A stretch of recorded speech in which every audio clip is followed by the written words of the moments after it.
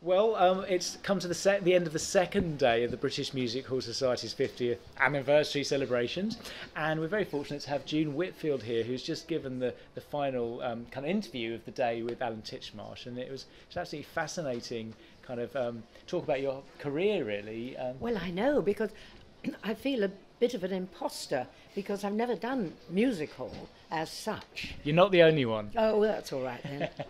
but um, yes, it, it's. Uh, Well, um, I mean, I hope people enjoy it, but I, I find it very boring talking about myself. You know. You Oh, think, well, none of us said found all this boring." before. You know. Well, you may have said it before, but, but but none of us have heard it before. I know, I certainly know, hadn't. yeah. Um, I think you know, as I say, not not everyone who's been here um, ever did perform on the music hall Oh, stage. good, But I think that the kind I'm of not the only one connection- then. No, no, definitely Good. not. No, we had Victoria Wood, and she said, um, you know, I haven't, I don't know anything about music oh hall, no, but. but, she's a stand-up. Yeah. Yes, and yeah. also she does comic songs, which I think is a Oh, kind of you know has kind of absolutely. Has Yeah. a, a direct link with music hall. I think the reason you know a lot of the people who have who have you know come along are here is because you know they're part of a tradition that went right the way through from music hall to variety and and theatre and so on. Oh, whole- absolutely. And of course, there's always Roy Hudd.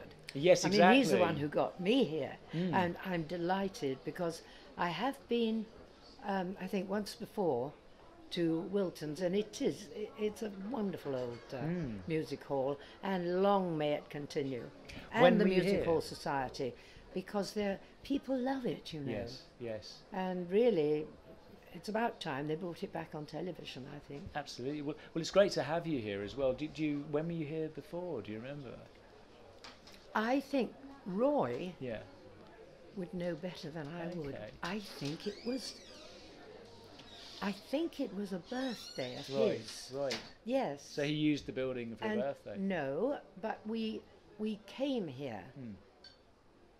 Fantastic. Yes, I'm sure we came here. Because it's only just recently kind of almost been saved from kind of decay, really. you What? How long ago? Well, the last few years, I'd say probably, Yes. I, I wouldn't know the exact, um, Yes, exact figures, but yeah, yeah. No, that- Obviously, it's been uh, here for years, so it, it's got Well, you, you can always edit it if I'm wrong, but I, th- I thought it was here. Yeah. Could be. Um, I was going to ask you actually because I was listening to your conversation with Alan, and you said that you always assumed that people would, would laugh at you anyway. Why? why, why did Oh. Well, you think if I, that? if I were playing a, a very straight role, Yeah. mind you, that was more when I was young. Right.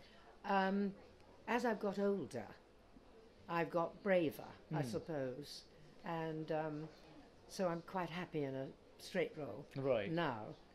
But uh, you know, when I was young, I, I always thought at RADA I was always given comedy stuff. I don't know why. Maybe but just I- naturally funny. I Yeah. just, I just drifted into it. As I say, like the second grave digger in Hamlet or something. You know, mind you, there was a shortage of men, of course. So did you have to do a, a very sort of deep voice for that one? Did you? I can't remember. remember. Peter Quince. Oh, I think I had that sort of voice. He had how how how um, I think long so, line of, uh, male I think so. comic characterisations. Yeah, oh rather. yes. but I was also going to ask you about um, the time that you worked with Roy on, on the Huddlines and so on. You, you, you sort of Oh, touched on that. and how you got the Fantastic. That it was a marvelous time, and I did. I think I did seven years with Take It From Here, Hmm, and when Alma and I took over from Joy Nichols, right. and but I did the Huddlines for sixteen. Oh, really? Wow, yeah, that's sixteen years. Yeah, Yes, and it was great. And you know, Alan was saying, uh, "Who have you learned most from?" I, you learn from everybody, Mm, mm. and and you learn from doing. Really. Yeah, I, I'm sure that just doing so- something like that weekly for 16 oh, years, you must have done almost anything. and, anything.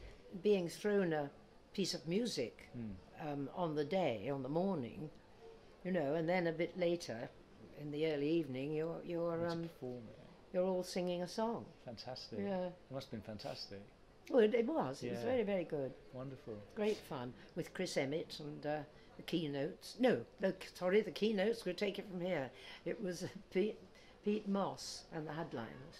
Mm. I used to actually listen to it when I was, I was very young. Did actually, you? On Radio 2. Yeah. yeah, yeah. I remember Yes, it was quite a shame well, that uh, yeah. it went actually because, well, the script writers would have quite a time Yeah, now. I'm sure they must have been going crazy. I think, yeah. Yeah. Yeah.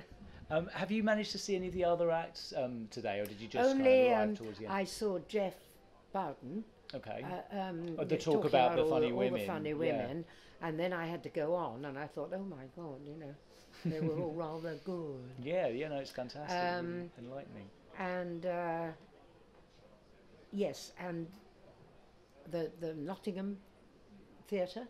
Oh, I w- have- before Oh, actually, I actually missed that one. Oh well, there you are. How was that? Was that was that informative? Interesting. Yes, except Yes. that I was sitting at the side Oh, and I couldn't see any of it. So, I mean, I could understand what he was Mm, talking mm. about, but I couldn't, see. it.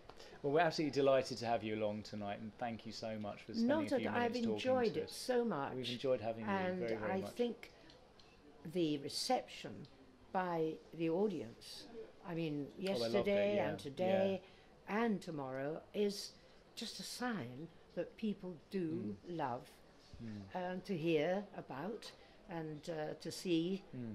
Music hall. No, absolutely, it's been a great atmosphere, and I think it's gone down Yes, really, really well. Thank you very much. And long may it last. Mm, absolutely. Thank you. Thank you.